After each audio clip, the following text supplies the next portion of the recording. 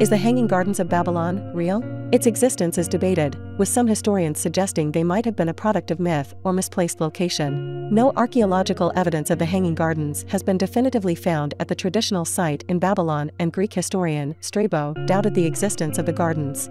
It was supposedly built by King Nebuchadnezzar II for his wife Amytis of Media in the 6th century BCE showcasing advanced engineering for the time. Ancient texts describe the gardens as a series of terraces with plants and trees, creating a lush elevated oasis. The source of water for the gardens remains unknown as the Euphrates River wasn't directly connected to the site. Some theories propose a complex irrigation system or an Archimedean screw to lift water to the elevated terraces. Despite uncertainties the Hanging Gardens of Babylon remain one of the seven wonders of the ancient world.